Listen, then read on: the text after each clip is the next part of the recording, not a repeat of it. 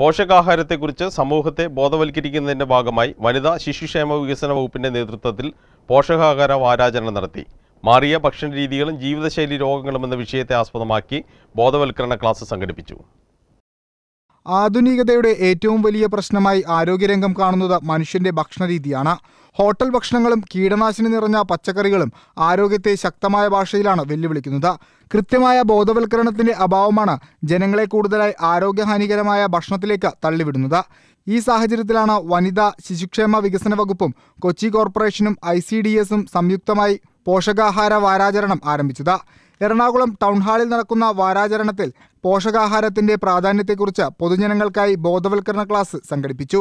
അതോടൊപ്പം വിദ്യാർത്ഥികളും വീട്ടമ്മമാരും തയ്യാറാക്കിയ പോഷക ഭക്ഷണങ്ങളുടെ പ്രദർശന മത്സരവും ഉണ്ടായി.